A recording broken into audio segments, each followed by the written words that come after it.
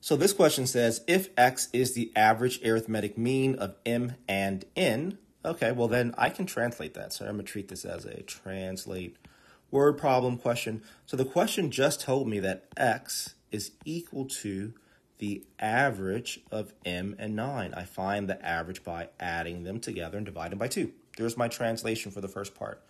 And it says y is the average of 2m and 15, so that means y is equal to 2m plus 15 divided by 2. And z is the average of 3m and 18, so 3m plus 18 divided by 2 equals z. What is the average of x, y, and z in terms of m? Okay, so couple of things here.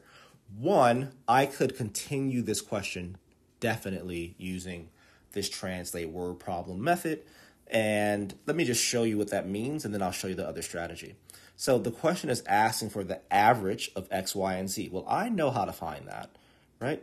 From a, gener- from a general sense, it's just x plus y plus z divided by 3, right? Is that's how you find averages. You add up the things you be, you're being asked to average, and you divide by the number of things you have. So x plus y plus z equals 3.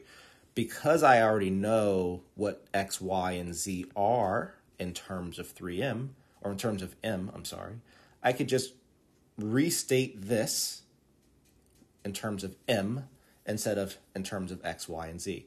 So instead of x plus y plus z, I would have m plus 9, right? That replaces the x. So m plus 9 over 2. Then I'd have 2m plus 15 over 2. That replaces my y. And I'd have 3m plus 18 over 2. That replaces my z. And all of that divided by 3. So if you simplify this, um, what you'll see is that the all the fractions in the numerator have a common denominator of 2, which means I can just combine those fractions together. The numerators have like terms, right? m, 2m, 3m, 9, 15, 18. If I combine all of those three fractions together, given they have a common denominator, what I end up with is 6m plus 42 over 2 all over 3 this 2 here can simplify this top fraction, right? Because 2 goes into all of these things, leading me to 3m plus 21 over 3. And then 3 goes into both 3 and 21, so I can simplify or reduce this fraction further. And what I'm left with is m plus 7, which means the correct answer must be B. So that's one way to do it. The other strategy is one of my favorite strategies on this test, which is plug in your own number. Now, the plug in your own number strategy is something that can be used, or you should, you know, can mostly be used whenever there is a variable or multiple variables in the answer choices. Whenever I see variables in the answer choices, I'm thinking plug in my own number.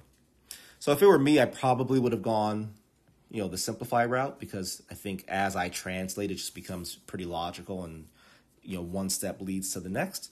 But let's say you're not really comfortable with all the fractions and the complex fractions and all that. We can still answer this without doing all that. So plug in your own number. The way that we would do that is we'd say m is equal to, make up your own number. I'm going to say 2. I always use 2 if I can. So what does that mean? That means x, instead of m plus 9 over 2, is going to turn into 2 plus 9 over 2, which is 11 over 2. And for y, instead of 2m plus 15, is going to become 2 times 2, which is 4, plus 15, which is 19 over 2. And for z, instead of 3m plus 18, I'm going to have 3 times 2, which is 6, plus 18, which is equal to 24 over 2. When I simplify that, I get x equals 5.5 I get y equals 9.5, and I get z is equal to 12. So all that's left is to actually answer the question. So the question says find the average of x, y, and z. So I'm going to do that by adding them all up. So 5.5 plus 9.5 plus 12. I'm going to divide all of that by 3. I throw this into my calculator. 5.5 plus 9.5 is 15, plus 12 is 27. So I end up with 27 divided by 3, which is 9. So there's my average. Okay, so that's the first step of plugging your own number. The next step is to say, okay, well, now when I put this m equals 2 into each answer choice, which one gets me a 9, right? The 9 that I know I should get as an average.